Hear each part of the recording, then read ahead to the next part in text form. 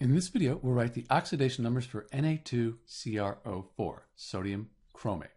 We use these general rules to help us. So Na, that's in group 1, and elements in group 1, oxidation number is plus 1. We don't know the chromium, but oxygen almost always is minus 2 with just these exceptions here. So we have minus 2, that's the oxidation number on each of these four oxygens.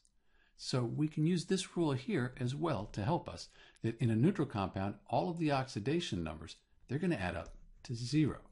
So we have 2 times plus 1, that's 2, plus, we don't know what the chromium is, and then we have 4 times minus 2, that's minus 8. So all of that adds up to 0.